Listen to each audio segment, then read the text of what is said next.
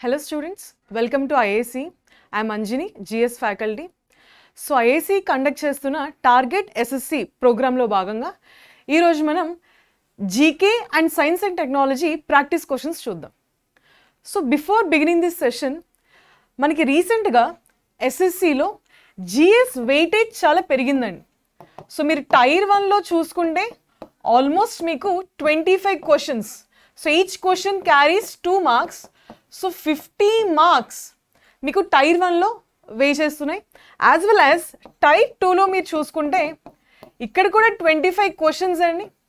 But ఇక్కడ వచ్చేసి three marks so seventy five marks okay so పాత సైకిల్స్తో చూసుకుంటే జిఎస్ వెయిటేజ్ ఈసారి చాలా పెరిగింది.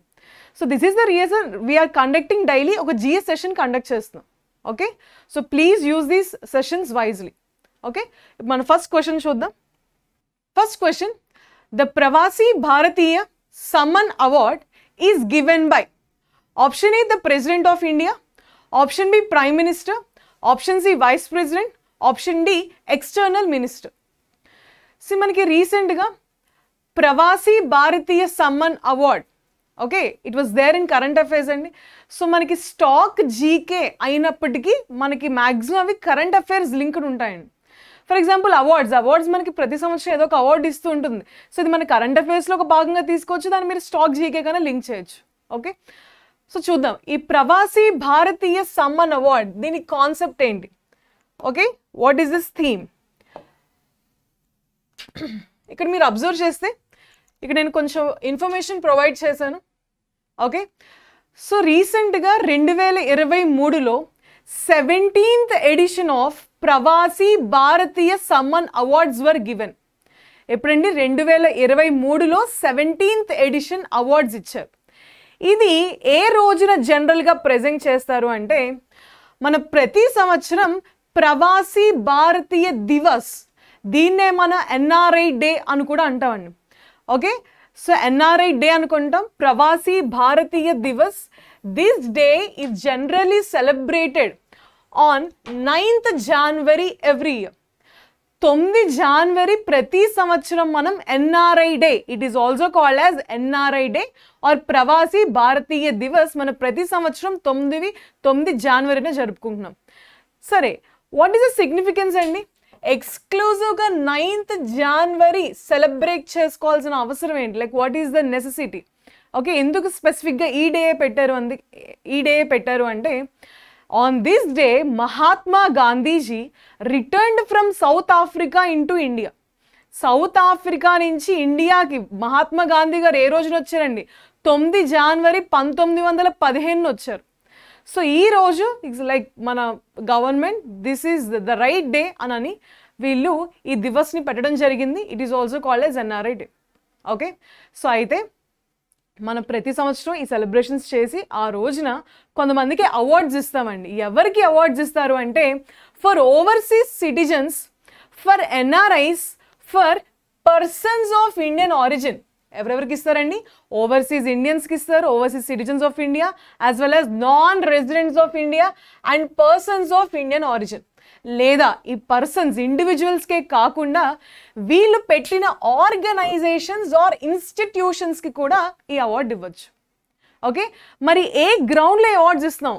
On which grounds this award was granted A grounds అంటే social grounds humanitarian grounds better understanding of India లేదా భారతదేశానికి ఆ యొక్క వాళ్ళు ఎక్కడైతే నివసిస్తున్నా ఆ యొక్క దేశానికి రెస్పెక్టివ్గా వాళ్ళు రిలేషన్స్ లింక్స్ పెంచినప్పుడు philanthropy charity welfare of the Indians so వీళ్ళు ఈ ఫీల్డ్స్లో వాళ్ళ స్కిల్ని మెరిట్ని చూపిస్తే అలాంటి ఎన్ఆర్ఐస్కి ఓవర్సీస్ ఇండియన్స్కి మన అవార్డ్ ఈ అవార్డు ఇవ్వడం జరుగుతుంది. అయితే రీసెంట్గా రెండు వేల ఇరవై మూడులో twenty seven Indians twenty seven overseas Indians NRIs got this award అండి ఈ ఫంక్షన్ ఎక్కడ చేశారు అంటే ఈ సంవత్సరం Indore it is in Madhya Pradesh Indore మధ్యప్రదేశ్లో ఇది జరిగింది. ఓకే తర్వాత వాట్ ఈస్ అ థీమ్ మనం ప్రతిదీ చదువుకునేటప్పుడు అంటే ఒక ఇంపార్టెంట్ డే చదువుకునేటప్పుడు ఖచ్చితంగా ఒక theme చదువుకుంటామండి. So theme also very important so what is a theme of this ప్రవా this Pravasi Bharatiya Samman Divas theme ఏంటండి? థీమ్ వచ్చేసి డయాస్పోరా. ఓకే? సో థీమ్ వచ్చేసి diaspora reliable partners for India's progress in Amritkaal ఈ థీమ్స్ కూడా అడుగుతారు. So మీకు క్వశ్చన్ ఎవరి award ఇస్తారని అడుగుతున్నారు. సో ఇలా కూడా అడగచ్చండి. What is the theme of the Pravasi Bharatiya Divas two thousand twenty three theme ఏంటండి? Diaspora reliable partners for India's progress in Amritkaal this theme is very very important తర్వాత and what is the aim so అసలు ఏంటి? ఈ దివాస్ ఎందుకు celebrate చేసుకుంటున్నారు? And ఈ awards ఎందుకు ఇస్తున్నారు? వాట్ ఈస్ ద నెసెసిటీ అండి? వాట్ ఈస్ ద నెసెసిటీ అంటే మనకి టు ఎక్నాలెడ్జ్ ఏంటండి? To acknowledge Indian diaspora to develop network of Indians among different countries so మన మోడీ గారు ఏం చేస్తున్నారంటే మనకి ఎక్స్క్లూజివ్గా ఈ ఇండియన్స్ ఎవరైతే ఉన్నారో he wanted to portray them he wanted to showcase them as an Indian ambassadors for go local oh Go go local uh, కానీ మేక్ ఇన్ ఇండియా క్యాంపెయిన్స్ కానీ for having like encouraging millets కానీ for promoting cotton textiles కానీ వీళ్ళని ఈ overseas ఎన్ఆర్ఐస్ని ఒక Indian అంబాసిడర్స్గా promote చేద్దాం అనుకుంటున్నారు. సో ఆల్మోస్ట్ నూట పది దేశాల్లో మన నెట్వర్క్ని పెంచుకోవాలి అని చెప్పి అనుకుంటున్నారండి. Okay this is the main theme and ఈ హిస్టరీ చూస్తే అసలు మనకి ఇది ఎక్కడి నుంచి స్టార్ట్ అయిందో చూస్తే it all started during Vajpayee government అండి.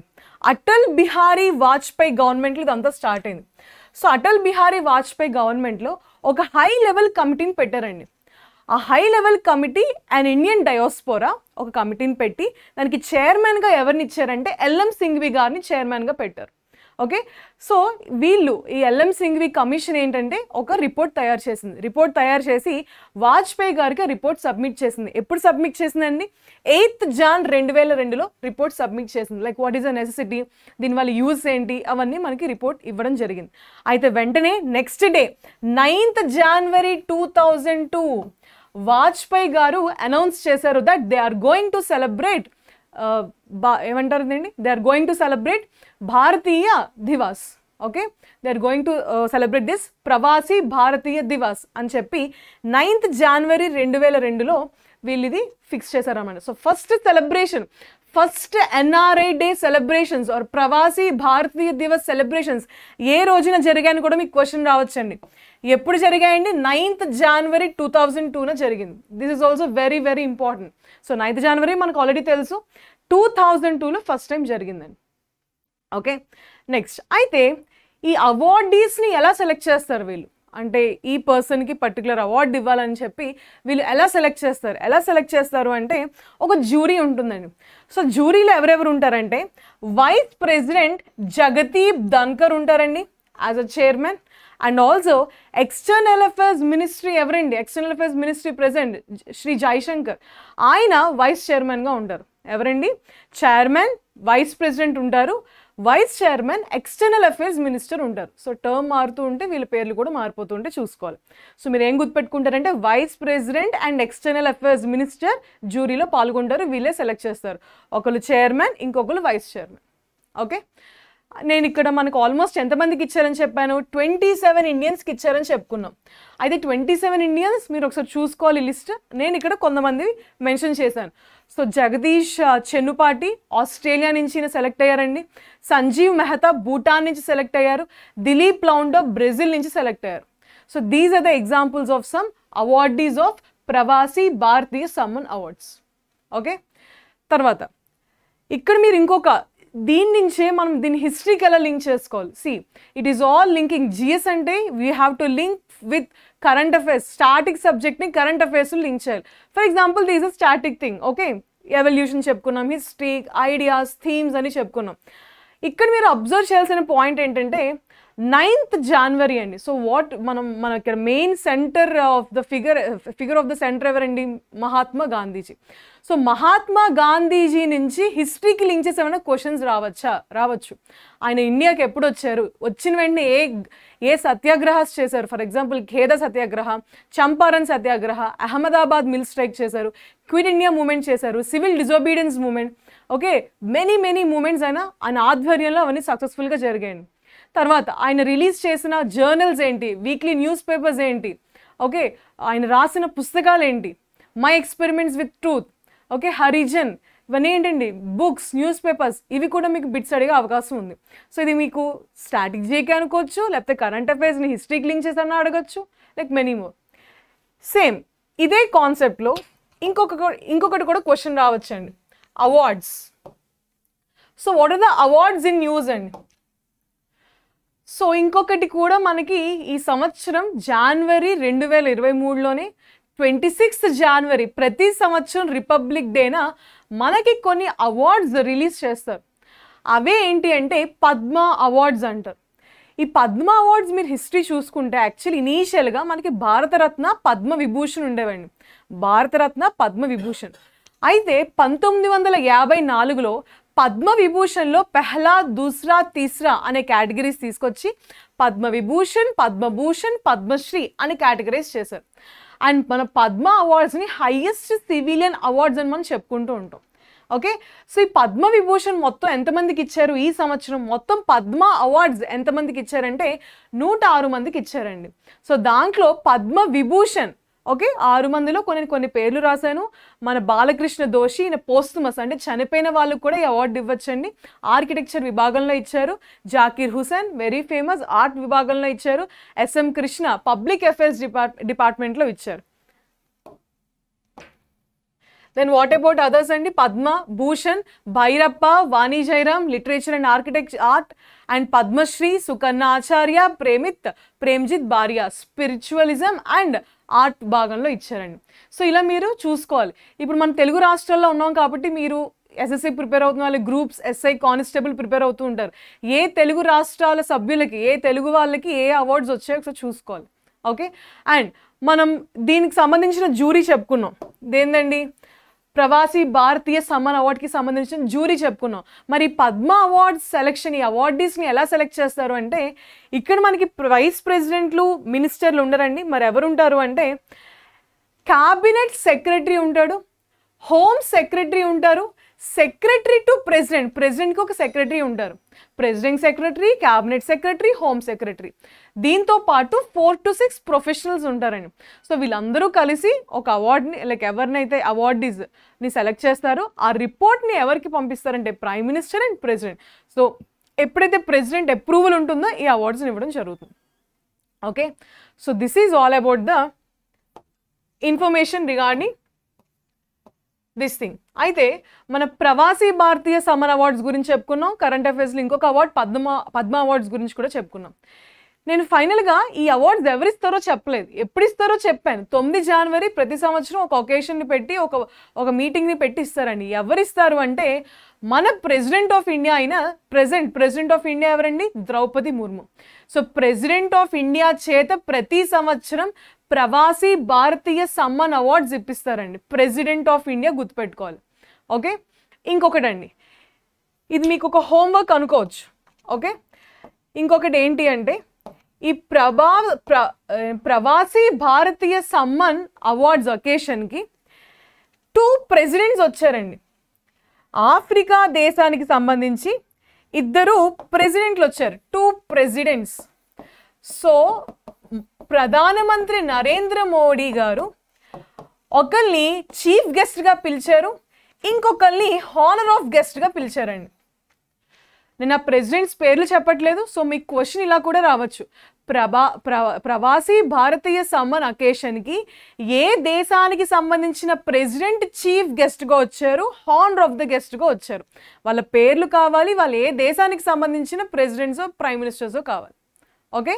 So who are the chief guest who are the chief guest of this awards function this is your work today you have to find out and please comment in the comment section okay now we'll see the question second question in which state immuno day is celebrated option a manipur option b nagaland option c tripura option d arunachal pradesh see మనకి north eastern states ఎథనికల్గా language పరంగా okay అవి మనకి mainland Indian టెరిటరీతో చాలా డిఫరెంట్గా ఉంటాయండి so వీళ్ళు ఏంటి అంటే వీళ్ళకి స్పెసిఫిక్ యూనిక్ లాంగ్వేజ్ ఉంటుంది కల్చర్ ఉంటుంది ఎథనిసిటీ ఉంటుంది. సో మన మెయిన్లాండ్ ఇండియన్ ఫెస్టివల్స్తో వీళ్ళ ఫెస్టివల్స్ చాలా డిఫరెంట్గా ఉంటాయి యూనిక్గా ఉంటాయి. సో ఎప్పుడు మనకి సెంట్రల్ గవర్నమెంట్ ఎగ్జామ్స్లో లైక్ ఎస్ఎస్సిలో ఈ నార్త్ ఈస్టర్న్ రాష్ట్రాల్లో జరుపుకుంటున్న ఫెస్టివల్స్ గురించి తరచుగా క్వశ్చన్స్ అడుగుతూ ఉంటారు. Okay festivals regarding the north eastern state స్పెసిఫిక్గా అడుగుతారండి. సో ఇప్పుడు దీని గురించి మన ఇన్ఫర్మేషన్ చూద్దాం. Manipur Nagaland Tripura Arunachal Pradesh. And what is a festival అండి ఇమాయిను ఫెస్టివల్ ఓకే సో మనకి ఇమాను ఫెస్టివల్ అనే ఫెస్టివల్ అండి. మణిపూర్ రాష్ట్రంలో ఏ రాష్ట్రంలో? మణిపూర్లో మనకి ఒక మీటీ కల్చరల్ ట్రైబ్స్ అని ఒకటి ఉంటారండి. వాళ్ళ పేరు ఏంటంటే మీటీస్ వాళ్ళు ఏ గ్రూప్కి సంబంధించిన వాళ్ళంటే మీటీస్ మీటీలు అంటారు. సో వీళ్ళ కల్చరల్ ఫెస్టివల్ ఈ ఇమాను ఫెస్టివల్ అసలు ఏంటి ఇమాను ఇమాను సో కొన్ని పుస్తకాల్లో ఇమాను అని ఇస్తారు ఇంకొన్ని పుస్తకాల్లో స్పెల్లింగ్ ఇలా ఉంటుంది. సో సో ఇమాను ఎవరండి? షీఈ్ ఎ గాడెస్ మనకి మణిపూర్ ప్రజలు ఏమని కన్సిడర్ చేస్తారంటే వీళ్ళని? She a goddess of health prosperity wealth peace positivity positivity and abundance so వీళ్ళు and she also the incarnation Manipuri సంస్కృతిలో మనకి లెమారల్ సిదాబి అని చెప్పి ఒక దేవత ఉంటారు. సో దా వాళ్ళలో ఒక ఇన్కార్నేషన్ ఇమాను అండి. So one of the incarnations of Leimarel Sidabi is Imoinu goddess okay అయితే ఈ పండగని వీళ్ళు ఎప్పుడు celebrate చేసుకుంటారంటే every month okay I mean sorry not every month every ఇయర్లో వీళ్ళు ఏ క్యాలెండర్ ఫాలో అవుతారంటే వ్యాక్చింగ్ క్యాలెండర్ అండి. సో మీటీస్కి సంబంధించిన వ్యాచింగ్ క్యాలెండర్లో భాగంగా twelfth day of Meetei lunar month okay so ఆ మంత్లో వీళ్ళు ప్రతి సంవత్సరం లూనార్ మంత్ పన్నెండవ రోజున ఈ పండుగని వీళ్ళు సెలబ్రేట్ చేసుకుంటారు. Okay this is very important so ఈ గాడెస్కి వీళ్ళు ఏంటంటే పండుగ రోజున రైస్ కానీ వెజిటేబుల్స్ ఫ్రూట్స్ వాళ్ళ సంస్కృతికి సంబంధించిన కొన్ని స్పెసిఫిక్ యూనిక్ డిషెస్ని వండి ఆ దేవతకి సమర్పిస్తారు. Okay? This is about Imoinu festival so ఇది మణిపూర్ రాష్ట్రంలో సెలబ్రేట్ చేసుకుంటారు. మనం మిగతా క్వశ్చన్స్ కూడా ఒకసారి డీకోడ్ చేద్దాం. దీని నుంచి కూడా because they are also in current affairs అండి. ప్రతి సంవత్సరం మనకి నాగాలాండ్ రాష్ట్రంలో హార్న్ బిల్ ఫెస్టివల్ చేస్తూ ఉంటారండి. ఇది చాలా ఫేమస్ హార్న్ బిల్ ఆ రాష్ట్రానికి సంబంధించిన ఒక యునిక్ పక్షి అనమాట హార్న్ బిల్ ఫెస్టివల్ అంటారు. సో ఇది ఎవరు చేస్తారంటే బేసిక్గా అగ్రికల్చర్ గ్రూప్స్ చేసుకుంటారండి. సో మనకి నాగాలాండ్లో almost sixty percent of the people they belongs to agriculture background. So వీళ్ళు పండగను పండుగను చేసుకుంటారు. అండ్ నాగాలాండ్లో ప్రతి ఎథనిక్ ఎవ్రీ ఎథనిక్ గ్రూప్ ఈ పండుగలో ఇన్వాల్వ్ అవుతుంది. All ethnic groups are involved in this festival. అందరూ దీంట్లో పాల్గొంటారు కాబట్టి ఈ ఫెస్టివల్ని ఏమంటారంటే it is called as festival of festivals అంటారండి. అన్ని ఎథనిక్ గ్రూప్స్ పాల్గొంటారు కాబట్టి it is called as festival of festivals ఇది మీకు క్వశ్చన్ రావచ్చు. Which of the following festival is called as festival of festivals answer is ఏంటండి? Hornbill festival of Nagaland okay? So వీళ్ళు ఇది ఎప్పుడు సెలబ్రేట్ చేసుకుంటారంటే ఫస్ట్ వీక్ ఆఫ్ డిసెంబర్లో అండి. సో వీళ్ళు చాలా డిఫరెంట్ వేషధారణ వేసుకుంటారు హార్న్ బిల్స్ పెట్టుకుంటారు. సో ఈ పండగను చూడడానికి చాలా ప్రపంచ దేశాల్లో మ- ప్రాంతాల నుంచి అందరూ విజిట్ చేయడానికి వస్తారు. సో ఇది ఇండైరెక్ట్గా టూరిజంని ప్రమోట్ చేస్తుందని చెప్పచ్చండి టూరిజంని ప్రమోట్ చేస్తుంది. Okay? This is about Nagaland hornbill festival. నేను ఒక్కొక్కటి ఒక ఎగ్జాంపుల్ ఇక్కడ ఇచ్చాను. నెక్స్ట్ మనకి ఆప్షన్ సి ఏమి ఇచ్చారండి? ఆప్షన్ సి ఏ రాష్ట్రం ఇచ్చారు? సో త్రిపుర ఇచ్చారండి. త్రిపురకి సంబంధించి ఇది కూడా మనకి కరెంట్ అఫైర్స్లో ఉంది. త్రిపుర త్రిపురలో మనకి గరియా పూజ చేస్తారండి. ఏంటి? గరియా పూజ చేస్తారు. సో ఈ గరియా పూజ ఎప్పుడు చేస్తారండి? ట్వంటీ ఫస్ట్ ఏప్రిల్ జనరల్గా ఏప్రిల్ మంత్లో వస్తుంది. కరెక్ట్గా ఇదే డేట్ని రావాలని లేదు. లాస్ట్ ఇయర్ అయితే ట్వంటీ ఫస్ట్ ఏప్రిల్ చేశారు. ఓకే సో వీళ్ళు ఏంటి అంటే ఇప్పుడు మనకి సౌత్ ఇండియాలో అయితే మన తెలుగు రాష్ట్రాల్లో ఫర్ ఎగ్జాంపుల్ మనం ఒక పసుపుతో ఒక చిన్న దేవి లాంటి ఫిగర్ చేసి మనం పెడతాం. అలా వీళ్ళు ఏం చేస్తారంటే ఒక బ్యాంబూ పోల్ని ఒక గాడ్లా భావించి దానికి పూలదండలు ప్రసాదాలు పెడతారండి. ఓకే? Bamboo pole. ఏ ఫెస్టివల్ అండి? గరియా పూజ. ఓకే? సో ఈ బ్యాంబూ పోల్కి ఫ్లవర్స్ గార్లైన్స్ వేస్తారు. రైస్ ఇస్తారు బీర్ పెడతారు వైన్ పెడతారు అండ్ చికెన్ బ్లడ్ కూడా వీళ్ళు ప్రసాదంగా పెడతారు. ఓకే? అండ్ వీళ్ళు ఎప్పుడు చేస్తారంటే లాస్ట్ డేట్ ఆఫ్ చైత్ర మాసం till the seventh day of Vaishakha మాసం. సో లాస్ట్ డే నుంచి సెవెంత్ డే ఆఫ్ వైశాఖ మాసం వరకు వీళ్ళు ఈ పండగ చేస్తారు. సో ఈ పండగలో భాగంగా వెరీ వెరీ ఇంపార్టెంట్ అని నేను ఇక్కడ ఇంకొక కాన్సెప్ట్కి లింక్ చేశాను.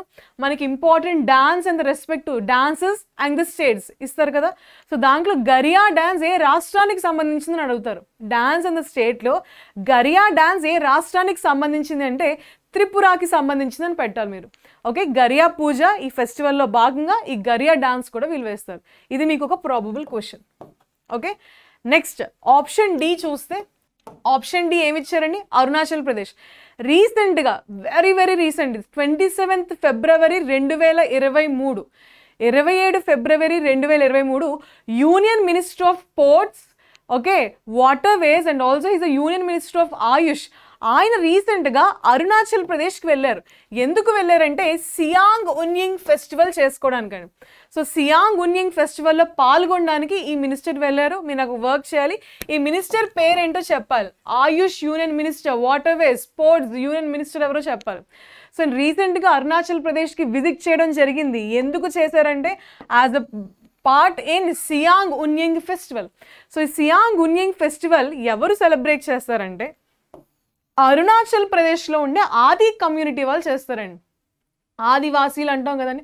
ఆది కమ్యూనిటీ ఆది తెగకి సంబంధించిన వాళ్ళు ఈ పండగని చేసుకుంటారు. ఇది వీళ్ళకి న్యూ ఇయర్ అండి. ఇది స్ప్రింగ్ సీజన్ స్టార్టింగ్లో చేస్తారు. సో మనకి స్ప్రింగ్ సీజన్ స్టార్టింగ్ వీళ్ళకి హార్వెస్ట్ వస్తుంది. సో మంచి హార్వెస్ట్ మంచి దిగుమతి రావాలని చెప్పి దేవుణ్ణి ప్రార్థిస్తూ ఈ చేస్తారు. So they pray for bumper harvest. దాన్ని బట్టి ఇది కూడా అగ్రికల్చర్ ఫార్మర్స్ చేస్తారని చెప్పొచ్చు. ఓకే? సో ఆదివాసీలు మనకి ఏ ప్ర రాష్ట్రంలో ఉంటారంటే అరుణాచల్ ప్రదేశ్. వీళ్ళు సెలబ్రేట్ చేసే పండుగ ఏంటంటే సియాంగ్ ఉన్యింగ్ ఫెస్టివల్. ఇది మనకి చాలా రీసెంట్ కరెంట్ అఫైర్స్లో ఉంది. ఓకే? సో ఇప్పుడు చెప్పండి what is the answer? Imoinu day is celebrated in which state అండి? Manipur. Option A is the correct answer. Next question. During Gaan Ngai festival which community shows their gratitude by offering the Almighty a good harvest and praying for a better prosperous life in the coming year. Option A Jeliangrong community, option B Nagas community, option C Kukis community, option D Metis community. So already మనం already ఒక community గురించి మాట్లాడుకున్నామండి Meetei community Imoinu festival Manipur so మీకు already idea ఉంది అంటే previous ఒక question చూస్తే మనకు already ఒక ఆప్షన్ మనం ఎలిమినేట్ చేసినట్టే ఎందుకంటే మనకి ఈ gone Ngai festival Meiteis communities చేసుకోరండి. వాళ్ళు ఇమాను ఫెస్టివల్ మాత్రమే చేసుకుంటారు. ఓకే? సో చూడండి. జిలాంగ్రాంగ్ నాగాస్ కూకీస్ అండ్ మీటీస్ వీళ్ళందరూ నార్త్ ఈస్టర్న్ దేశాలు మరియు బంగ్లాదేశ్ మయన్మార్కి సంబంధించిన ట్రైబ్స్ అండి. అంటే ఇండియాకి నార్త్ ఈస్టర్న్ సైడ్లో ఉన్న ట్రైబ్స్ గురించి ఇచ్చారు. Okay? So Gaan Ngai festival. So క్వశ్చన్లోనే చెప్తున్నారు ఏమని? They offer some good harvest to almighty god. So coming ఇయర్లో సో కమింగ్ ఇయర్లో వీళ్ళు మంచి జరగాలని కోరుకుంటున్నారు. అంటే ఈ ఫెస్టివల్ దేన్ని సిగ్నిఫై చేస్తుంది అంటే it is signifying the end of the year అని మనం చెప్పొచ్చు. So it is not a new year అండి. సో ఈ ఫెస్టివల్ చూస్తే జలియంగ్రాంగ్ ఫెస్టివల్ ఇది ఎక్స్క్లూజివ్గా Assam like very few parts of Manipur అండి. Assam and few parts of Manipur వాళ్ళు చేసుకుంటారు. It is a post harvest festival you have to observe this word it is a post harvest festival అంటే మాకు మంచి harvest ఇచ్చినందుకు thank you so గ్రాటిట్యూడ్తో చేసే ఒక పండగ ఈ జిలియాంగ్రాంగ్ పండగ అండి. ఎవరు చేస్తారంటే అగైన్ జిలియాంగ్రాంగ్ కమ్యూనిటీ వాళ్ళే చేస్తారు. సో వీళ్ళు ఎక్కడ ఉంటారంటే మేజర్గా Assam and some parts of Manipur okay so ఇది జనరల్గా నవంబర్ డిసెంబర్. హార్వెస్ట్ అయిపోయాక నవంబర్ టు డిసెంబర్ మంత్స్లో చేస్తారు. So it marks the end of the year and it shows some gratitude towards a god. Okay? Next. So this is about question. So మనకు answer already అర్థమైపోయింది కదండి. Option is a right answer. ఇది కూడా చూద్దాం మనం. మిగతాది. What about this Naga Naga group? So Naga groups ఎక్కడ ఉంటారు అంటే నార్త్ ఈస్ట్ ఇండియాలో ఉంటారండి. అండ్ ఆల్సో మనకి Myanmar. So మయన్మార్లో north western side of Myanmar and ఇండియాలో నార్త్ ఈస్ట్ ఇండియా రాష్ట్రాల్లో వివిధ రాష్ట్రాల్లో వీళ్ళు అక్కడక్కడక్కడ స్ప్రెడ్ అయ్యి ఉంటారు. నాగాస్ మేజర్గా నాగాలాండ్లో ఉంటారు మణిపూర్లో ఉంటారు Arunachal Pradesh Assam and Burma. Burma where is Burma? It is in Myanmar Myanmar. So Nagaland Manipur Arunachal Pradesh Assam and Burma. So ఇది నాగా ట్రైబ్స్కి సంబంధించి. నెక్స్ట్ కూకీస్ కూకీస్ ఎక్కడ ఉంటారండి Kukis all north eastern states C అన్ని నార్త్ ఈస్టర్న్ రాష్ట్రాల్లో ఉంటారు except Arunachal Pradesh. Arunachal ప్రదేశ్లో మాత్రం ఉండరండి. Except Arunachal Pradesh. And they are also present in Bangladesh and Myanmar Bangladesh Myanmar and all north eastern states except Arunachal Pradesh. ఎవరండి? కూకీస్. తర్వాత Meitei people. ఇందాకే మనం చెప్పుకున్నాం మీటీస్ మణిపూర్లో ఉంటారండి. సో వీళ్ళు చాలా యునిక్గా ఉంటారు. వీళ్ళు మీటీ భాష మాత్రమే మాట్లాడతారు. ఈ మీటీ భాష మనకి షెడ్యూల్లో ఉన్న ఇరవై రెండు అఫీషియల్ లాంగ్వేజెస్లో ఒక అఫీషియల్ లాంగ్వేజ్ మీటీ భాష అండి. అయితే గుర్తుపెట్టుకోండి ఇది చాలా చాలా important Meiteis are there in current affairs అండి. ఎందుకు మీటీస్ కరెంట్ అఫైర్స్లో ఉన్నారు అంటే వీళ్ళు రీసెంట్గా ఎస్టీ స్టాటస్ కోసం చాలా రైట్స్ చేశారు. సో వీళ్ళకి ఎస్టీ స్టాటస్ కల్పించాలి అని చెప్పి సెంట్రల్ గవర్నమెంట్కి వీళ్ళు పిటిషన్ పెట్టారు.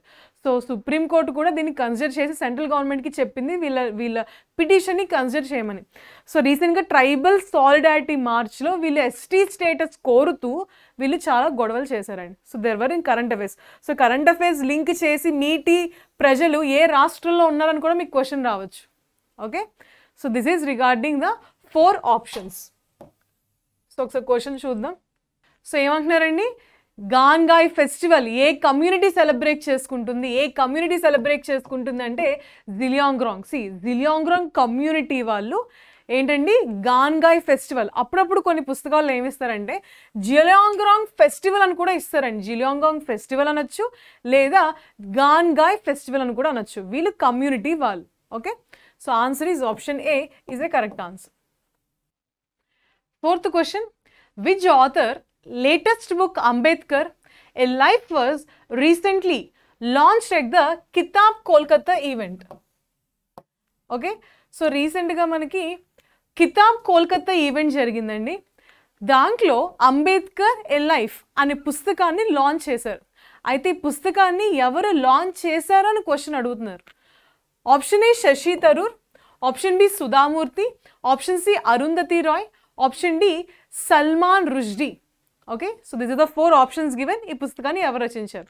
సో ఇక్కడ ఆప్షన్స్ అబ్జర్వ్ చేయండి. శశి తరూర్ సుధామూర్తి అరుంధతి రాయ్ సల్మాన్ రుజ్డీ ఓకే సో మనకి అరుంధతి రాయ్ సల్మాన్ రుజ్డీకి man Booker praise award లభించిందండి Shashi Tharoor he's consider as the like encyclopedia of of English language okay Sudha Murthy she the wife of the one of the co founder of Infosys that is the Narayan Murthy wife and also mother in law of Britain prime minister right okay she's she's also a great philanthropist so ఇచ్చిన four options very important powerful personalities so ఎవరి పుస్తకం రచించారు? ఎవరు అంటే mister Shashi Tharoor అండి. Option A is a right answer okay ఇప్పుడు దీనికి సంబంధించి కొంచెం ఇన్ఫర్మేషన్ చూద్దాం. Okay so coming to this question మనకి అంబేద్కర్ ఏ లైఫ్? సో ఈ పుస్తకాన్ని శశి తరూర్ గారు రచించారండి. సో ఈ పుస్తకంలో ఆయన లైక్ అంబేద్కర్కి సంబంధించిన లైఫ్ స్టోరీ ఆయన ఎప్పుడు పుట్టారు ఎక్కడ పుట్టారు from birth to almost death and he's birth year మనకు అంబేద్కర్ జయంతి అని మనం సెలబ్రేట్ చేసుకుంటామండి ఇది చాలా చాలా ఇంపార్టెంట్ మీరు జీకేలో స్టాండర్డ్ జీకేలో ఇంపార్టెంట్ డేస్ చదువుతారు. Fourteenth April Ambedkar Jayanti. So fourteenth April eighteen ninety one నుంచి మనకి ఆయన డెత్ టైం పీరియడ్ వరకు ఆయన complete life story like he admired mister Ambedkar he talked about his insight and ఈయన ఏ కమ్యూనిటీకి సంబంధించిన వ్యక్తి అండి? He belongs to which community Mahar community so Ambedkar garu ఆయన పుట్టాక ఆయన లైక్ డ్యూరింగ్ ద ఎవల్యూషన్ ఆయన మహర్ కమ్యూనిటీలో పుట్టినందుకు ఆయన ఎలాంటి డిస్క్రిమినేషన్ ఫేస్ చేశారు? సొసైటీతో ఎలాంటి డిస్క్రిమినేషన్ ఫేస్ చేశారు? యాజ్ వెల్ యాజ్ ఆయన పాలిటిక్స్లో అడుగుపెట్టాక మిస్టర్ గాంధీజీ అండ్ నెహ్రూ వీళ్ళతో సంబంధం ఎలా ఉంది? వీళ్ళతో ఐడియాలజికల్ డిఫరెన్సెస్ ఎలా ఉన్నాయి? So his complete childhood his student face political face so ఇవన్నీ మనకి ఎక్స్ప్లెయిన్ చేశారు. And coming to mister Ambedkar మనకి రీసెంట్గా పద్నాలుగు ఏప్రిల్ రెండు వేల ఇరవై మూడున మనం ఏం సెలబ్రేట్ చేసుకున్నామండి? One thirty second birth anniversary of అంబేద్కర్ని మనం సెలబ్రేట్ చేసుకున్నాం. This is very very important okay and Ambedkar speciality వస్తే he's the drafting committee chairman అండి. మన రాజ్యాంగ డ్రాఫ్టింగ్ కమిటీ మన రాజ్యానికి రాజ్యాంగానికి సంబంధించి కాన్స్టిట్యూషన్ ఆఫ్ ఇండియాకి సంబంధించి డ్రాఫ్టింగ్ కమిటీ చైర్మన్గా పనిచేశారు ఈయన. He's also very very important పంతొమ్మిది వందల నలభై ఏడులో ఫస్ట్ లా మినిస్టర్ అయ్యారండి. అయితే మనకి హిందూ కోడ్ బిల్ వచ్చింది పంతొమ్మిది వందల యాభై ఒకటిలో. అది ఆ ఐడియాలజికల్ డిఫరెన్సెస్ వల్ల ఈయన పంతొమ్మిది వందల యాభై ఒకటిలో రిజైన్ చేయడం జరిగింది. ఓకే? తర్వాత ఇంకొకటి ఇంపార్టెంట్ మోడర్న్ హిస్టరీ నుంచి మీకు ఇక్కడ కూడా ఇలా కనెక్ట్ చేయొచ్చు. నైన్టీన్ హండ్రెడ్ అండ్ థర్టీ టూలో అంబేద్కర్ గారు మరియు గాంధీజీ గారు పూనా ప్యాక్ని సైన్ చేసుకున్నారు. ఎందుకంటే ఎలక్టోరేట్ సపరేట్ కమ్యూనల్ ఎలక్టోరేట్ కావాలి అని చెప్పి అంబేద్కర్ గారు ఫైట్ చేశారు. సపరేట్ కమ్యూనల్ ఎలక్టోరేట్ ఉండకూడదని చెప్పి గాంధీజీ గారు ఫైట్ చేశారు. సో ఇద్దరు కలిసి నెగోషియేషన్ తీసుకుని పూనా ప్యాక్ట్ అయితే సైన్ చేసుకున్నారు. సో ఈ పూనా ప్యాక్ట్ ద్వారా సపరేట్ కమ్యూనల్ ఎలక్టోరేట్ ఇవ్వలేదు కానీ ప్రోవిన్షియల్ లెజిస్లేచర్లో సెవెంటీ వన్ నుంచి వన్ ఫార్టీ సెవెన్కి వాళ్ళ రిప్రజెంటేషన్ పెంచారండి. వీక్ డిస్క్రిమినేటెడ్ క్లాసెస్ యొక్క రిప్రజెంటేషన్ సెవెంటీ వన్ నుంచి వన్ ఫార్టీ సెవెన్ సీట్స్ అయితే పెరిగింది. సో అంబేద్కర్ గారు ఒక చెప్పాలంటే ఆల్మోస్ట్ సక్సెస్ అయినట్టే ఈ పూనా ప్యాక్ ద్వారా. Okay? This is some facts regarding Ambedkar. And మనకి క్వశ్చన్స్ ఎస్ఎస్సిలో క్వశ్చన్స్ ఇంకెలా రావచ్చు అంటే regarding the journals books organizations written by Ambedkar. So journals ఆయన ఏ జర్నల్స్ రాశారండి? మూక్ నాయక్ సమత జనత బహిష్కృత్ భారత్ ఇవన్నీ ఆయన రాసిన జర్నల్స్ ఇక్కడ కూడా మీకు బిట్ రావచ్చు చాలా ఇంపార్టెంట్ ఇది రాసిన పుస్తకాల పేర్లు. Buddha or Karl Marx? బుద్ధానా లేదా Karl మార్క్సా? Second book annihilation of caste rise and phase of the Hindu women rise and the phase of the Hindu women and the Buddha and his Dhamma ఇక్కడ నేను రాయలేదు but రాసుకోండి. The Buddha and his Dhamma ఈ పుస్తకం కూడా అంబేద్కర్ గారు రాశారు. ఈయన పెట్టిన ఆర్గనైజేషన్ ఆర్గనైజేషన్స్ ఏంటండి? షెడ్యూల్ క్యాస్ట్ ఫెడరేషన్ ఇది ఒక ఆర్గనైజేషన్ ఇండిపెండెంట్ లేబర్ పార్టీని కూడా ఆయన స్థాపించారు. Okay so this is some important facts regarding Ambedkar దీంతో పాటు చాలా చాలా ఇంపార్టెంట్ అండి మీకు ఎస్ఎస్సీలో అడుగుతారు ఏ పర్సన్ మూడు రౌండ్ టేబుల్ కాన్ఫరెన్స్కి హాజరయ్యారు. Ambedkar is a person who attended all the three round table conferences held in London. ఈయన ఎవరి తరపున రిప్రజెంటేటివ్గా వెళ్ళారు అంటే డిప్రెస్డ్ క్లాసెస్ తరపున రిప్రజెంటేటివ్గా వెళ్ళారండి depressed classes representative. So very important he attended all the three round table conferences ఇది చాలా చాలా ఇంపార్టెంట్ సో మీకు నాలుగు పేర్లు ఇచ్చి which of the following attended all the three round table conference అని అడుగుతారు. So answer is this Ambedkar okay next మనం మిగతా ఆప్షన్స్ కూడా డీకోడ్ చేద్దాం. మనకు ఆప్షన్స్లో ఇచ్చారు కదండి. సుధామూర్తి వీళ్ళు వీళ్ళ గురించి కూడా ఒక రెండు మూడు important facts so Sudha Murthy she's a author she's a philanthropist she's like one of the leading women entrepreneur so ఈవిడ కన్నడ అండ్ ఇంగ్లీష్ రెండు భాషల్లో చాలా పుస్తకాలు రాశారు. అయితే కొన్ని తుమ్లా అస్తిత్వ అనే పుస్తకాలు కన్నడ భాషలో రాశారు. ఇంగ్లీష్లో అయితే the mother I never knew అనే పుస్తకాన్ని రాశారండి. వెరస్ కమింగ్ టు అరుంధతి రాయ్ సుజాన్న ఆవిడ ఆవిడ పూర్తి పేరు ఏంటండి ఆవిడ పూర్తి పేరు సుజాన్న అరుంధతి రాయ్.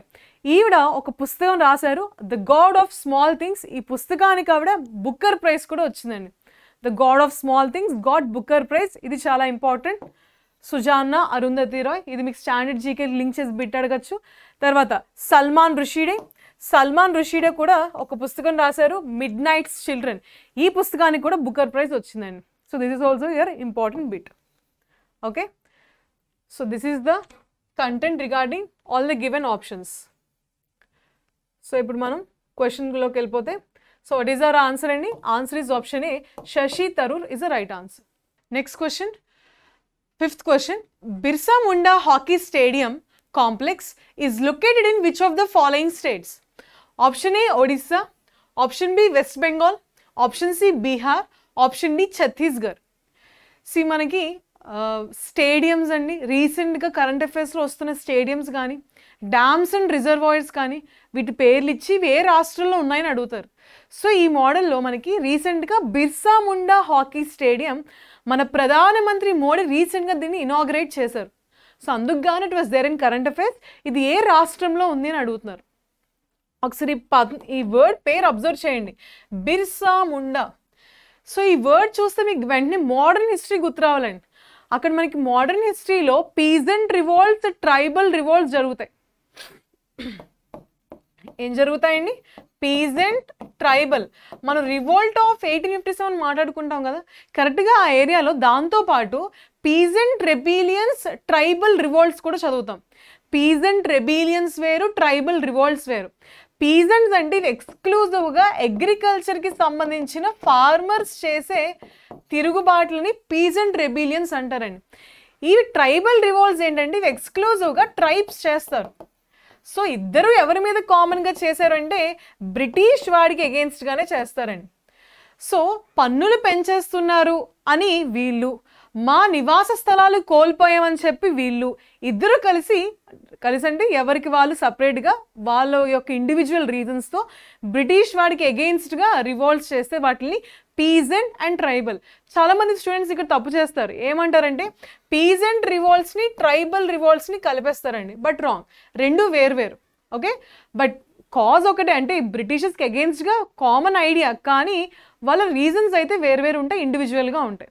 ఓకే?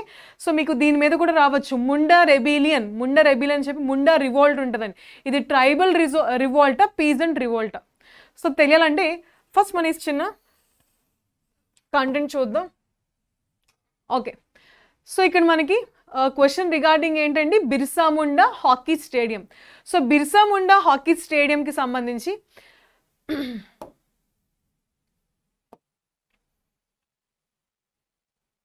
సో రీసెంట్గా మనకి మోడీ గారు ఇనాగ్రేట్ చేశారండి. ఒడిషా సీఎం నవీన్ పట్నాయక్ గారు కూడా దీంట్లో పాల్గొన్నారు. ఒడిషా సీఎం ఎవరండి? నవీన్ పట్నాయక్. ఓకే? సో ఈ ఒడిషా సీఎం ఎందుకు పాల్గొన్నారంటే బికాస్ ఈ స్టేడియంని ఎక్కడ ఇది స్టార్ట్ చేస్తున్నారంటే it is in the place of Rourkela. ఎక్కడండి? రౌర్కెలా. ఇది ఒడిస్సా రాష్ట్రంలో ఉంది. ఒడిస్సా రాష్ట్రంలో ఏ జిల్లాలో ఉందంటే సుందర్గర్ జిల్లా. సో సుందర్గర్ జిల్లా రౌర్కెలా ప్రాంతంలో ఈ స్టేడియంని వీళ్ళు ఓపెన్ చేయబోతున్నారు. ఆల్మోస్ట్ ఇది యాభై ఎకరాల్లో స్ప్రెడ్ అయ్యిందంటండి. ఆల్మోస్ట్ ఈ స్టేడియంకి two hundred and sixty one crores డబ్బులు వీళ్ళు ఖర్చు పెట్టబోతున్నారు. అండ్ దీని కెపాసిటీ వచ్చేసి ట్వంటీ థౌజండ్ పీపుల్ పడతారు. అండ్ ఆల్సో దీంట్లో మనకి లోకల్గా ఐ మీన్ లోపల టూ ట్వంటీ ఫైవ్ రూమ్స్. ఎందుకంటే మనకి world cup hockey world cup వస్తుంది కదండి.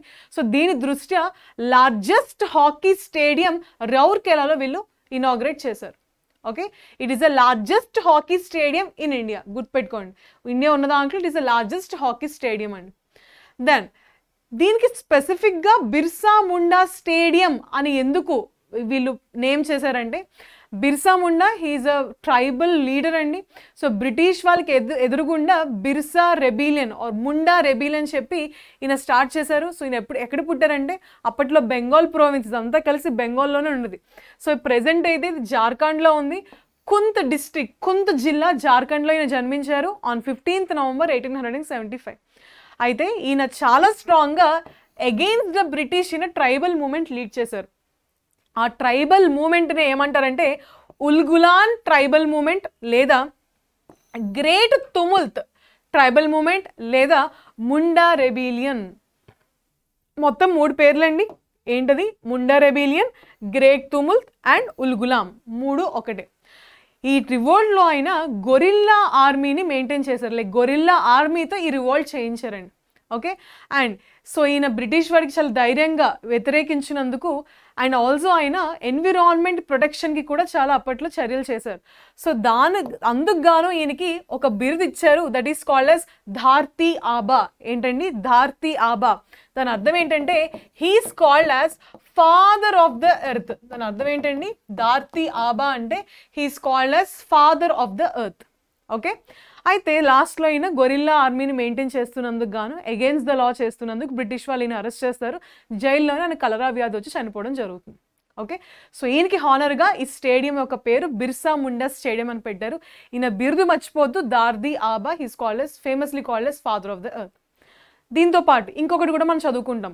మనకి world cup hockey two thousand twenty three సందర్భంగా ఇంటర్నేషనల్ హాకీ ఫెడరేషన్ గురించి కూడా మీరు చూసుకోండి ఇది చాలా ఇంపార్టెంట్. ఇంటర్నేషనల్ హాకీ ఫెడరేషన్ ఇది ఎప్పుడు స్థాపించారంటే పంతొమ్మిది వందల ఇరవై నాలుగులో స్థాపించారు. దీని హెడ్ క్వార్టర్స్ ఎక్కడండి? Lausanne. Where is Lausanne? It is in Switzerland స్విట్జర్లాండ్లో ఈ లౌసేన్ అనే ప్రాంతంలో IHF international hockey federation headquarters ఉందండి. అయితే ఇది మన దేశంలో జరుగుతున్న లైక్ వివిధ దేశాల్లో జరుగుతున్న టోర్నమెంట్స్ కానీ వరల్డ్ కప్ మ్యాచెస్ గురించి కానీ ఇది అన్ని టేక్ కేర్ చేస్తుంది. That is the importance of Indian hockey federation then coming to India మనం నా మనం హాకీని నేషనల్ గేమ్ అంటూ ఉంటాం అఫీషియల్ గేమ్ అంటూ ఉంటాం. కానీ ఒకసారి గుర్తుపెట్టుకోండి. Hockey is not the official game or not the official sport of India it is only national sport national sport or national game ఏంటి అంటే hockey it is not the official game అండి. Okay distinction చూసుకోండి. It is only the national sport it is not the official sport of India okay one see this words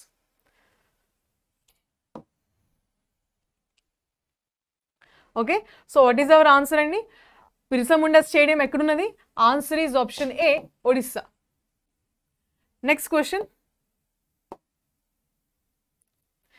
next question చూడండి. Sixth question global family day is celebrated on which day global family day first January second January third January fourth January so మనకి static జీకేలో భాగంగా మనకి important themes themes కూడా మనకు అడుగుతూ ఉంటారండి. అవునా? సో ఇంపార్టెంట్ థీమ్స్ ఏ రోజు ఒక డే ఇచ్చి ఇది ఏ రోజు ఈ డే యొక్క థీమ్ ఏంటి అని అడుగుతూ ఉంటారు. సో చూసుకుందాం. మనం ప్రతి సంవత్సరం ఫస్ట్ జనవరిన గ్లోబల్ ఫ్యామిలీ డే సెలబ్రేట్ చేసుకుంటాం. చూడండి గ్లోబల్. సో ఫ్యామిలీ అంటే మనకు జనరల్గా ఇండివిజువల్గా మాట్లాడుకుంటాం. మన family father mother children it is talking about global wise global family day అంటున్నాం. సో ఈ గ్లోబల్ ఫ్యామిలీ డే ఎందుకు సెలబ్రేట్ చేస్తారంటే ప్రపంచ దేశాల మధ్యన ఐక్యతను గుర్తించడానికి cooperation unity peace and security among the different nations in this world. So దీన్ని ప్రమోట్ చేయడానికి మనం గ్లోబల్ ఫ్యామిలీ డే అని మనం సెలబ్రేట్ చేసుకుంటాం. అయితే గ్లోబల్ ఫ్యామిలీ డే గురించి అసలు మనకి ఏంటి అసలు ఈ డే ఎలా పెట్టాలి ఎవరు అసలు ఈ ఐడియా ఇచ్చింది ఎవరండి? అయితే ఇది ఎర్లియర్ మనకి ఈ ఐడియా ఈ తర్వాత యుఎన్ దీన్ని ప్రమోట్ చేసింది కానీ యుఎన్ దీన్ని రికగ్నైజ్ చేయకముందే మనకి కొన్ని ఇంగ్లీష్ నావెల్స్ ఉన్నాయండి. ఇంగ్లీష్ పుస్తకాలు కొన్ని కథల పుస్తకాలు కొన్ని నావెల్స్ ఎక్స్క్లూజివ్గా ఈ రెండు పుస్తకాల్లో ఈ గ్లోబల్ ఫ్యామిలీ డే గురించి మాట్లాడే. For example Steve Diamond and Robert Alan వీళ్ళిద్దరూ కలిసి ఒక పుస్తకం రాశారు. చిన్నపిల్లల పుస్తకం అండి. అదేంటి అంటే one day in peace so ఈ వన్ డే ఇన్ పీస్ పుస్తకంలో వీళ్ళు ఫస్ట్ జనవరి గ్లోబల్ ఫ్యామిలీ డేగా సెలబ్రేట్ చేసుకుందాం అని చెప్పి ఫస్ట్ వీళ్ళు ఈ పుస్తకంలో రాయడం జరిగింది. సో మీకు క్వశ్చన్లో కూడా ఇవ్వచ్చండి. వన్ డే ఇన్ పీస్ అనే పుస్తకాన్ని ఎవరు రచించారు? పుస్తకాలు కూడా మనకి ఇంపార్టెంట్ కాబట్టి ఇది కూడా మీరు చూసుకోవాలి. తర్వాత ఇంకొక బుక్ అండి లిండా గ్రోవర్ రచించిన tree island a novel for the new millennium ఈ పుస్తకంలో కూడా మనకి ఈ గ్లోబల్ ఫ్యామిలీ డే గురించి వీళ్ళు రికగ్నైజ్ చేశారు. సో తర్వాత యుఎన్ యునైటెడ్ నేషన్స్ పంతొమ్మిది వందల తొంభై తొమ్మిదిలో ఇలా మనం గ్లోబల్ ఫ్యామిలీ డే సెలబ్రేట్ చేసుకుంటే బాగుంటుందని చెప్పి ఇక్ స్టార్టెడ్ ఇక్ celebration.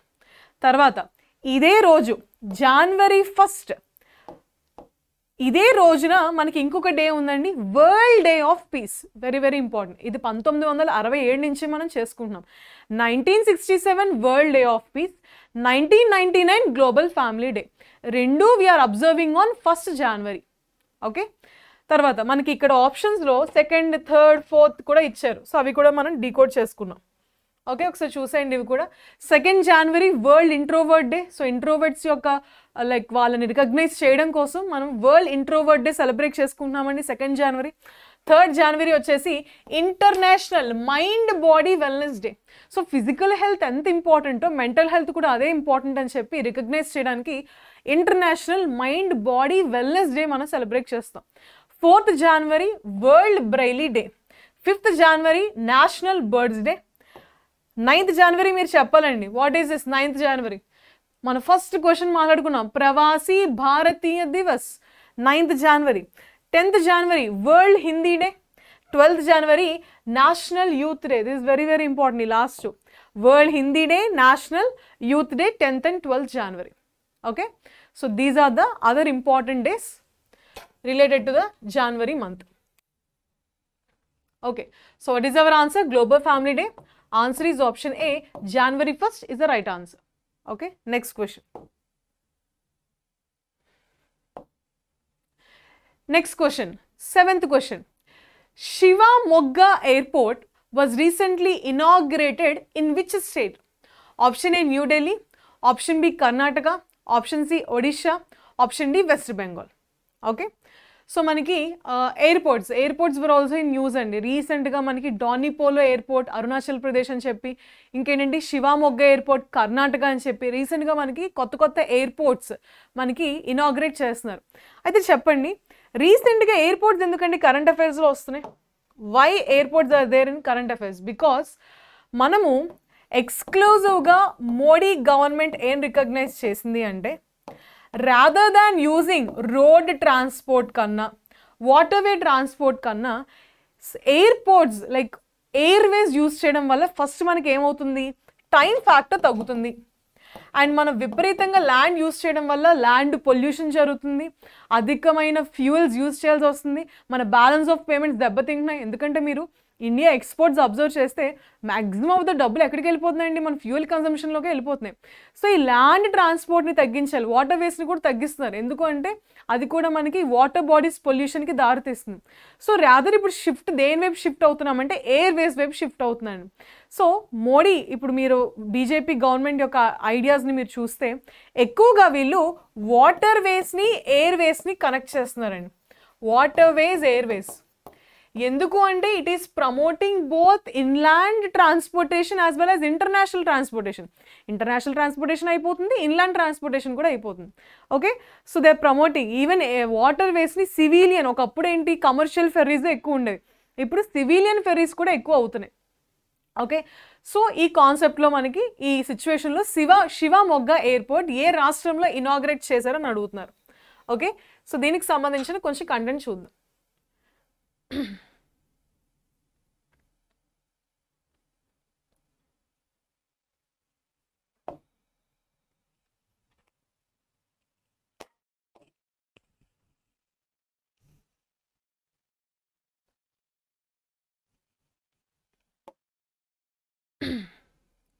Okay see this see రీసెంట్గా శివమొగ్గ ఎయిర్పోర్ట్ని మన ప్రధానమంత్రి గారు కర్ణాటక రాష్ట్రంలో ఇనాగ్రేట్ చేశారండి ప్రధానమంత్రి మోడీ. దీని కాస్ట్ వచ్చేసి ఆల్మోస్ట్ నాలుగు వందల యాభై కోట్లు వెచ్చించనున్నారు. అండ్ దీని టర్మినల్ వీళ్ళు ఎలా కట్టబో కట్టబోతున్నారంటే లోటస్ షేప్డ్ అండి. కమల పువ్వు ఆకారంలో దీని టర్మినల్ కట్టబోతున్నారు. ఓకే? అండ్ ఆయన వచ్చినప్పుడు కర్ణాటకకు సంబంధించి చాలా నేషనల్ హైవేస్ ప్రాజెక్ట్ కానీ రోడ్స్ బ్రాడ్నింగ్ ప్రాజెక్ట్స్ కానీ ఆయన ఇనాగ్రేట్ చేద్దామని చెప్పారు. ఓకే? అయితే ఈ శివ మొగ్గ గురించి చూస్తే శివ మొగ్గ బేసికల్లీ ఇది ఒక ట్రైబల్ ఇది ఒక hilly ఏరియానండి Shivamogga it is basically a hilly area. ఇక్కడ మనకు ఒక రివర్ ఫ్లో అవుతుందండి. It is called as Tunga. ఏంటంటే రివర్ పేరు Tunga T U N G A ఇక్కడ ఒక రివర్ ఫ్లో అవుతుంది. It is called as Tunga river ఈ రివర్ మనకి కొండ ప్రాంతం నుంచి వెళ్తుంది. ఎందుకు మరి ఇంత కొండ ప్రాంతంలో మారుమూల ప్రదేశంలో ఎయిర్పోర్ట్ని వీళ్ళు uh, ఇనాగ్రేట్ చేశారు అంటే చూడండి. ఇక్కడ it is actually this Shivamogga district ఇది ఇది ఒక జిల్లాలో ఉందండి. శివమొగ్గ జిల్లా అని అంటారు దీన్ని. ఓకే ఈ జిల్లా it is this area it is very famous for ayurvedic medicines అండి. చాలా రకాల ఆయుర్వేదిక్ మెడిసిన్స్ మెడిసినల్కి సంబంధించిన ఆర్ అండి ఇక్కడ జరుగుతుంది. So cancer heart attack like many diag డిజీజ్ని diagnose చేయడానికి ప్రపంచ దేశాల నుంచి చాలామంది ఎవరైతే ఆయుర్వేదాన్ని నమ్ముతారో అక్కడి నుంచి ఇక్కడికి వస్తున్నారు. సో వాళ్ళకి ట్రాన్స్పోర్టేషన్ ఈజీగా ఉండాలి అని చెప్పి టూరిజం యాజ్ వెల్ యాజ్ మనకి వాళ్ళకి ఎక్స్పోర్ట్స్ అండ్ ఇంపోర్ట్స్ బెటర్గా ఉంటాయని చెప్పి ట్రాన్స్పోర్టేషన్ బెటర్ బెటర్గా ఉంటుందని చెప్పి మన మోడీ గారు ఇక్కడ ఎయిర్పోర్ట్ ఇనాగ్రేట్ చేద్దామని చెప్పి అనుకున్నారు. ఓకే సో అయితే ఈ తుంగ రివర్ ఈ తుంగ రివర్ కోసం అంటే ఇది కరెంట్ అఫైర్స్లో ఉంది కాబట్టి తుంగ రివర్ గురించి కూడా అడగడానికి ఛాన్స్ ఉంది. సో ఈ తుంగ రివర్ ఎక్కడ ఉంది అంటే ఇది ఎక్కడి నుంచి ఆరిజినేట్ అయ్యింది అంటే వరాహ పర్వతం అండి. ఎక్కడి నుంచి ఆరిజినేట్ అయింది? So Karnataka East Ghats Eastern Ghat Western Ghat Karnataka మనకి వెస్టర్న్ ఘాట్స్లో ఉంటుంది. సో వెస్టర్న్ ఘాట్స్లో వరాహ పర్వతం అనే ప్రదేశం నుంచి ఈ తుంగ రివర్ మనకి ప్రవహిస్తుంది అనమాట సో ఈ ఈ తుంగ రివర్ వరాహ పర్వతాల దగ్గర నుంచి వచ్చి చిక్మంగళూరు షిమోగా జిల్లాల మీదుగా పాస్ అయ్యి అక్కడి నుంచి షిమోగా జిల్లా నుంచి ఎప్పుడైతే బయటకు వస్తుందో దాన్ని అప్పుడు తుంగ రివర్ అనరండి. తుంగ నది అనరు. ఇప్పుడు అది ఏమవుతుంది తుంగభద్ర అయిపోతుంది. సో మీకు అర్థమైంది కదా తుంగభద్ర ఎక్కడి నుంచి వచ్చిందో? తుంగా నది వరాహ పర్వతాల నుంచి చిక్మంగళూరు షిమోగా జిల్లా నుంచి వచ్చి it is from this point it is called as Tungabhadra. Tungabhadra Tungabhadra నది తర్వాత దేంట్లోకి కలుస్తుందండి? కృష్ణా నదిలో కలుస్తుంది. కృష్ణా నది మనకి ఎక్కడ ప్రవహిస్తుంది? Andhra. So this is regarding the origin birth of Tunga river this is the journey Karnataka నుంచి మనకి ఆంధ్రప్రదేశ్లో కృష్ణా నదిలో కలిసిపోతుందండి. ఓకే తర్వాత. So this is all the thing regarding which airport Shivamogga airport నేను ప్యారలల్గా ఇంకొకటి కరెంట్ అఫైర్స్లో ఉందండి. ఇది- ఇది కూడా చాలా ఇంపార్టెంట్ దీని మీద కూడా కంటిన్యూస్గా క్వశ్చన్స్ అడుగుతున్నారు. అది కూడా ఇక్కడ మేము మెన్షన్ చేశాను. ఇంకొకటి ఏంటి అంటే అరుణాచల్ ప్రదేశ్కి సంబంధించిన ఒక ఎయిర్పోర్ట్ అండి. Arunachal Pradesh like very very important it is famously called as Donyi Polo airport local లాంగ్వేజ్లో డానీ అంటే సన్ అండి. పోలో అంటే మూన్ వీళ్ళు ఎక్కువ నేచర్ గాడ్స్ని వీళ్ళు ఎక్కువ పూజిస్తారు కాబట్టి. సో వాళ్ళ భాషలో వాళ్ళు ఆరాధించే ఎలిమెంట్స్లోనే వాళ్ళు పేరు పెట్టారు. It is called as Donyi Polo sun moon airport అండి. And who is the chief minister of Arunachal Pradesh అండి? పేమ్ కాందు సో ఆయన చెప్పారు this airport it is going to be the architecture marvel ఎందుకు అంటే వీళ్ళు ఈ ఎయిర్పోర్ట్ మెయిన్ గేట్ని horn bill hornbill పక్షి మనం ఇందాక చదివాం. Hornbill is very important bird so hornbill రూపంలో దాని ఫెదర్స్ రూపంలో దాని బాడీ స్ట్రక్చర్ రూపంలో ఒక పెద్ద గేట్ని పెట్టారండి. సో దీని స్పెషాలిటీ ఏంటంటే ఈ హార్న్బిల్ గేట్ ఎక్స్క్లూజివ్గా బ్యాంబూతో తయారు చేశారు. సో దీని ఒక ఆర్కిటెక్చర్ మార్వెల్గా ఆయన పేర్కొన్నారు రీసెంట్గా ఓకే అండ్ ఇది ఒక గ్రీన్ ఫీల్డ్ ప్రాజెక్ట్ ఈ పదం కూడా మనకు వస్తుంది. గ్రీన్ ఫీల్డ్ అంటే ఏంటి? కంప్లీట్గా ఒక ప్రాజెక్ట్ని స్క్రాచ్ నుంచి స్టార్ట్ చేస్తే it is called as greenfield. అదే ఫర్ ఎగ్జాంపుల్ ఆల్రెడీ ఒక ఎయిర్పోర్ట్ ఉంది దాన్ని మనం రినోవేట్ చేస్తున్నాం రీకన్స్ట్రక్ట్ చేస్తున్నామంటే it is called as brownfield అండి. సో బేసిక్గా వీళ్ళు ఇంకా స్క్రాచ్ అంటే వాళ్ళ ఒక ప్లెయిన్ ల్యాండ్ మీద ఎయిర్పోర్ట్ని కన్స్ట్రక్ట్ చేయడం స్టార్ట్ చేశారు. సో అలాంటి ప్రాజెక్ట్స్ని గ్రీన్ ఫీల్డ్ ప్రాజెక్ట్స్ అంటారు ఓకే? సో ఇంకొకటి it is the third airport. ఇది అరుణాచల్ ప్రదేశ్ ఫస్ట్ ఎయిర్పోర్ట్ కాదండి ఇది థర్డ్ ఎయిర్పోర్ట్. మరి ఫస్ట్ ఎయిర్పోర్ట్ ఏంటి అంటే Pasighat airport and Tezu airport. So Arunachal ప్రదేశ్లో ఆల్రెడీ మూడు ఎయిర్పోర్ట్స్ ఉన్నాయి. Pasighat Tezu and డానిపోలో airport is going to be the third airport in Arunachal Pradesh. And as well as sixteenth airport in North East India okay next ఇంకొక point కూడా చూద్దాం. ఈ ఎయిర్పోర్ట్స్ని మరి మెయింటైన్ చేసేది ఎవరండి? ఈ ఎయిర్పోర్ట్స్ని మెయింటైన్ చేసేది ఎయిర్పోర్ట్ అథారిటీ ఆఫ్ ఇండియా. గుర్తుపెట్టుకోండి చాలా చాలా important these also can be a probable question airport authority of India ఈ ఎయిర్పోర్ట్ అథారిటీ ఆఫ్ ఇండియాని ఎప్పుడు స్థాపించారు అంటే first April nineteen ninety five okay so it is almost controlling all the international domestic airports మొత్తం నూట ఇరవై ఐదు airports ఇది మెయింటైన్ చేస్తుందండి. ఓకే ఇది government of India civil aviation మినిస్ట్రీలో పనిచేస్తుంది. ఫస్ట్ ఏప్రిల్ నైన్టీన్ నైంటీ ఫైవ్లో దీన్ని స్థాపించారు. ఇది కూడా చాలా ఇంపార్టెంట్ సో నేను ఒక క్వశ్చన్లోనే మీకు చాలా ఫ్యాక్ట్స్ కవర్ చేస్తున్నాను. సో మీరు ఇంటర్లింక్ చేసుకుంటూ వెళ్ళాలి. ఇక్కడ మీకు airport of airport authority of India నుంచి క్వశ్చన్ రావచ్చు. డానిపోలే ఎయిర్పోర్ట్ నుంచి క్వశ్చన్ రావచ్చు. ఓకే ఇక్కడ మీరు శివామొగ్గ ఎయిర్పోర్ట్ నుంచి రావచ్చు. తుంగా రివర్ గురించి రావచ్చు. సో మన ఒక టాపిక్ని జాగ్రఫీ ఓకే ఎకానమీ ఇంకా పాలిటీ హిస్టరీ ఇలా అన్ని సబ్జెక్ట్స్తో మనం లింక్ చేసుకోవచ్చండి ఓకే సో క్వశ్చన్లోకి వెళ్దాం.